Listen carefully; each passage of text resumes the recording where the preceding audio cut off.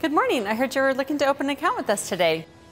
Yes, and uh, what is that man doing over there? Oh, that's our CEO. We take our fraud protection very seriously, but some things he takes into his own hands. Want to watch? Okay.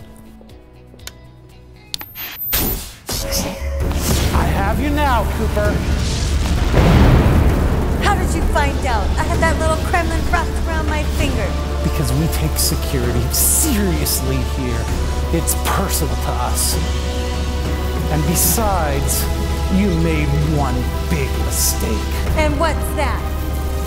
You messed with Desert Valleys! No!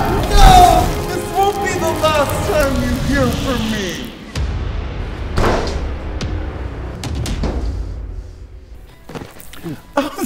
I'm hello, sorry. Eric. Hi, Mr. Smith. How are you today? I'm doing good. How are you? I'm great. Uh, did you ever find out the problem with my account?